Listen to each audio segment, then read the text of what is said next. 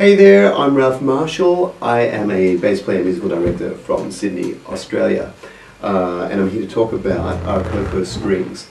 Now I use stainless steel strings. Um, the gauge I prefer is 40 to 120. Um, a lower gauge, what I usually find is that stainless steel sound great to me, but it's generally really stiff. Now R.Cocco are really malleable, um, and more to the point, they last a long time. Um, pretty much longer than any other string, nickel or stainless that I've ever tried. Um, now what I want to show you is that I'm playing a bass now that's had one set of strings on uh, for about, I'd say about two months, so it's possibly, possibly about 20 gigs. Now the thing is, it's a giveaway just putting a new set of strings on because new sets of strings have that shine um, and all that tingle, but what do they sound like two months into the piece? Or they ain't new anymore, are they? So I thought it'd be great to um, prove an issue uh, with strings that are now probably about 20 gigs old um, with a whole bunch of rehearsals in between uh, just to show you their brightness and the fact that their sound is still there. Um, this is about the build quality of R.Cocco strings as far as I'm concerned. So.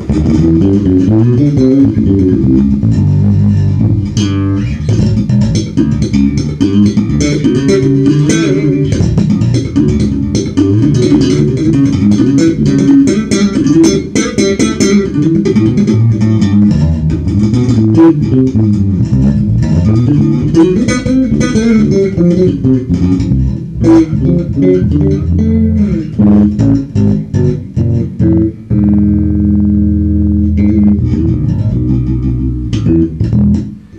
there you have it. So there's, um, I think that'd show you that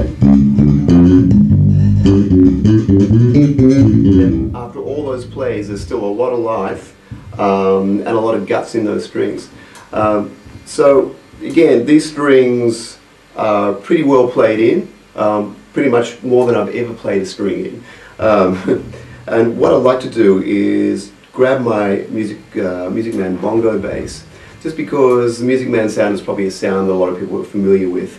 Uh, just to show you that the strings have a certain integrity and uh, help to reveal the bass, that they're a real sounding string. So here's the sound of R.Cocco stainless 40 to 120s on a Music Man, Music Man 5-string bongo.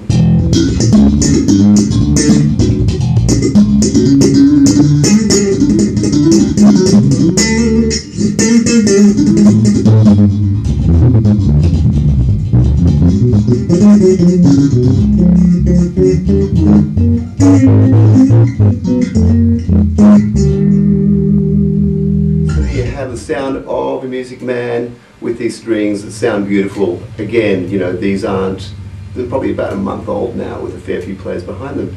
Um, so once again, what I'm talking about here is a test to the build quality of these great strings. They're my favorite of all the strings I've tried in my 25 years of playing. Thanks very much.